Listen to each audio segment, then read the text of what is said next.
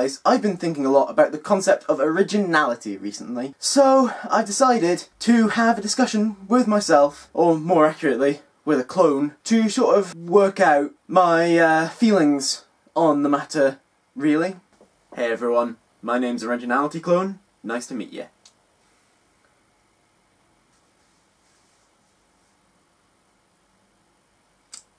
Do you want to put on some clothes? You cloned me in your pajamas, dude. I am pretty comfortable, and I'm gonna stay that way. Okay. Um, shall we begin? Yeah, okay.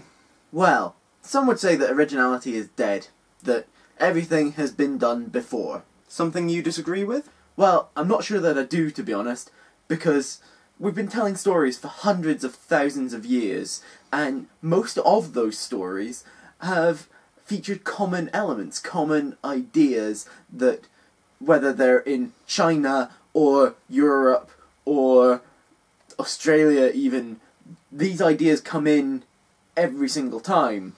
And even with that, we seem to have run out of ideas to a certain extent. We've run out of pure ideas, as most things over the course of our world and our you know, current world, they're mashups.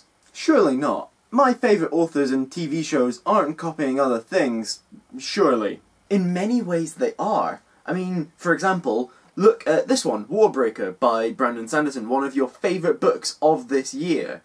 It's a fantastic book, it's featuring a lot of really interesting ideas, but so many of those ideas have also been used in other things the setting has been used in various different ways before. The characters are full of archetypes that have been used in other ways, other places. It's not that it's unoriginal, it's just a lot of thing ideas that have gone into this book have been used before. True, I suppose, but surely uh, things like YouTube and uh, vlogs and things Surely they have some originality still in them. Hardly. Vlogs and other videos tend to be a reflection of life, and that in itself is a repeated idea, a meme. And in fact, most people's lives have some level of commonality towards them in that we all eat, we all sleep, we all make things and spend time with friends. I don't know that I've ever thought of it that way before. Even this video is not very original. It's copying a number of people, including, most notably, Wheezy Waiter. Be glad that I don't have an alligator pit. But that is besides the point. Originality is one goal, one possibility for our fiction. It's one goal. I would not say that it's the end goal of our fiction. And I would say that that is quality of content. And quality of content is a whole different kettle of fish. Good point. Now, go find an alligator pit. You're being too derivative. Now that he's gone, I can finish this off myself. If you look in the description down below, there is a link to a video by Nika Harper where she gives a talk about originality and how it's not necessarily the most important thing in things for different reasons than me and Originality Clone talked about. It's a very interesting one. I've loved it for years. Go check it out.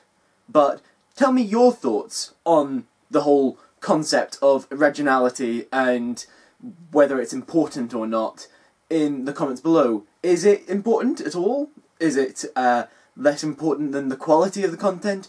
Or are we all just reusing hacks? I'd love to know what you think, so tell me in the comments down below. I hope that you enjoyed this video and that Originality Clone didn't put you off it with his ugly face and all. Where am I supposed to find an alligator pit anyway? I also hope that you remember to like and share this video and that you can subscribe to my channel. If you click on the thumbnails down below, you will see other videos by me. They don't have clones in them, so I don't know whether they're as good. Anyway, I will see you guys next time. Bye.